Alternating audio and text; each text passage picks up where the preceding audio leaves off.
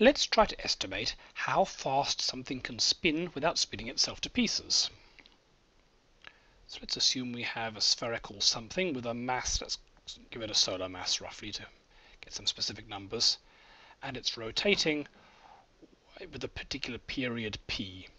So p is how long it takes to spin around once. Now if we look at something on the surface, so here it's spinning round, something on the surface, the question is can it stay on the surface or will it get flung off to space by the rotation? Now this object is going to have a downward gravitational force and there is going to be an upward normal force from the surface. And it's moving in a circle. A circle of radius r. Now we know that for anything to move in a circle at radius r at some velocity v, there has to be a net force towards the middle, a centripetal force, of m v squared over r, where m is the mass of this whatever it is sitting on the surface. Now in that case, that'll be contributed by the difference between the gravitational force and the normal force. If something's spinning very slowly, the gravitational force and the normal force will be equal and opposite, so as to leave the object lying on the surface. If it's spinning faster, the normal force will be reduced, but the gravitational force will stay strong. As it spins faster and faster and faster, the normal force will shrink away to zero. So at the crucial moment when something's about to be hurled off the surface, the gravitational force all by itself, uh, with no normal force taken off it, is supplying the centrifugal force.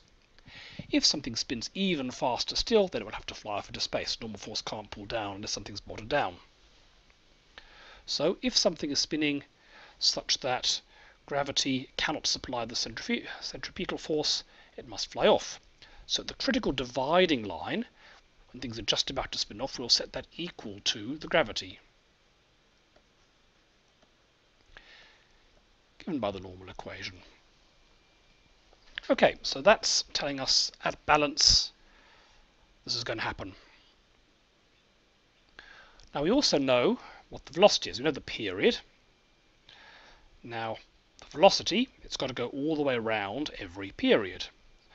So the distance it travels, 2 pi times the radius, that's the circumference of the circle, divided by the velocity, it's got to be equal to the period, which means that the velocity equals 2 pi r over p. Now let's plug that into here. We end up with m v squared, so it's going to be 4 pi squared r squared over p squared, and then we've got the 1 over r, r equals g mass of the whole object, which is the mass of the sun, mass of the lump on the surface, over r squared. Now what can we do here? Well, the mass of the lump cancels out. That cancels with one of these. We put that r up to that side. So we end up that I have r cubed over here equals g m sun p squared moves up to the top and the 4 pi squared moves down to the bottom.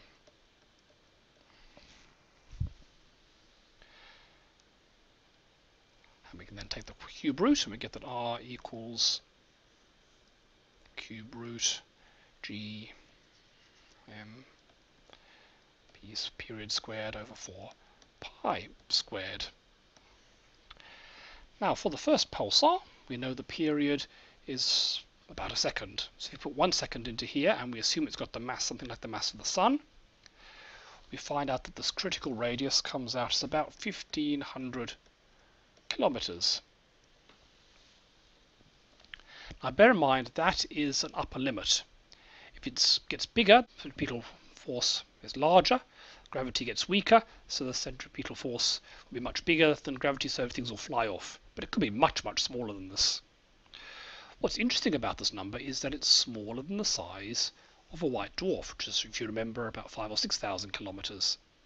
So what this is telling us is that a white dwarf cannot spin where it goes around like every second or so. It just can't spin that fast. The surface layer will be flung off into space. So we have to be looking at something here which is smaller and denser than a white dwarf.